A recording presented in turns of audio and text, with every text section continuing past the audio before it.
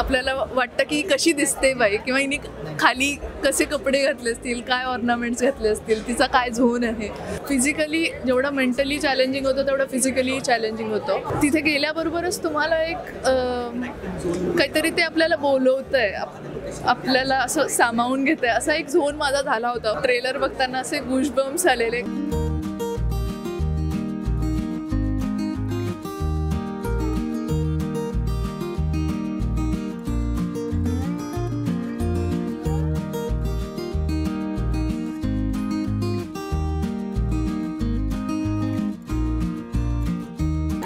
माझं ॲक्च्युली आत्ता मला ट्रेलर बघताना असे गुशबम्स आलेले कारण जेव्हा पहिल्यांदा स्क्रिप्ट वाचली होती तेव्हा रिडिंगच्या वेळेस असं होतं की हे कॅरेक्टर खूपच वेगळं आहे आणि म्हणजे ते असं इमॉर्टल आहे.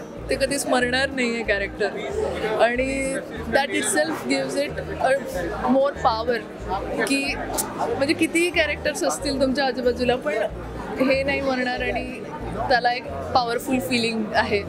सो ते वाचताना पण गुशबम्स येत होते आणि आता ट्रेलर बघितलं तर मला असं वाटलं की तेव्हा मला माहिती नव्हतं की कोण कोण काम करणार आहे सिरीजमध्ये तर आता बघताना असं वाटतं की एवढे सगळे एक्सपिरियन्स ॲक्टर्स एवढे व्हर्साटाईल एवढे अमेझिंग सगळे आर्टिस्ट एकत्र येऊन ते स्क्रीनवर एवढे अमेझिंग दिसत आहेत just because of our D O P our writers our director our producer so छान वाटतं. कॅरेक्टरबद्दल सांगायचं झालं तर बेसिकली जसं ट्रेलरमध्ये दिसतंय की ती अशी पाण्यातनं अर्धी येते आणि आपल्याला वाटतं की कशी दिसते बाई किंवा हिने खाली कसे कपडे घातले असतील काय ऑर्नामेंट्स घातले असतील तिचा काय झोन आहे. तर तसंच ॲक्च्युली तेवढंच मी तुम्हाला सांगू शकते ॲक्च्युली आत्ता.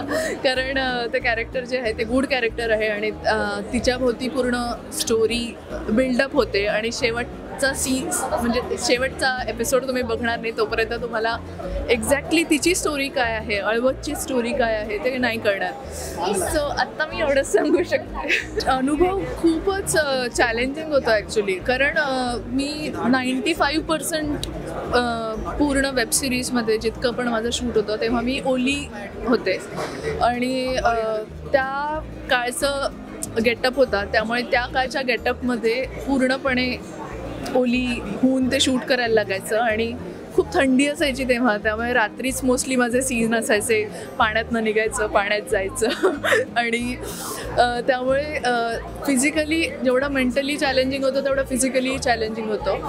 आणि ज्या वाड्यामध्ये आम्ही शूट केलं तर वाड्याचा पण ना एक वेगळीच एनर्जी होती. म्हणजे यू कॅन फील इट की काहीतरी आहे या वाड्यामध्ये. म्हणजे इट्स नॉट अबाउट घोस्ट और it's not about bad energy तिथे गेल्याबरोबरच तुम्हाला एक काहीतरी ते आपल्याला बोलवतं आहे आपल्याला असं सामावून घेत आहे असा एक झोन माझा झाला होता. Maybe I was too much into the character त्यामुळे पण असेल. पण ते मला नंतर कळायचं की एका झोन नंतर मला वाटायचंच नाही की आपण मला असं वाटायचं की मी इथे खूप दिवस राहून गेले या वाड्यामध्ये. आणि अबाउट टीम टीमबद्दल म्हणायचं झालं तर आम्ही खूप मोस्ट ऑफ द मुली मुलीच होतो म्हणजे सेटवर कॉस्ट्यूम हेअर मेकअपसाठी पण. सो सगळ्याजणी एकमेकींना असं सांभाळून घेत होतो आणि ऑल्सो कास्टमध्ये पण म्हणजे बऱ्याच स्त्रिया आहेत ज्या नरेशन करत आहेत स्टोरीचं तर that is a very beautiful thing to you know go through their visions आणि त्यांचा त्यांना काय सहन करायला लागलं आणि कसं ते त्याच्यातनं बाहेर पडल्या. So it's it's nice I mean fruitful project म्हणतो ना आपण या वर्षीचं असं असं वाटतंय मला आता.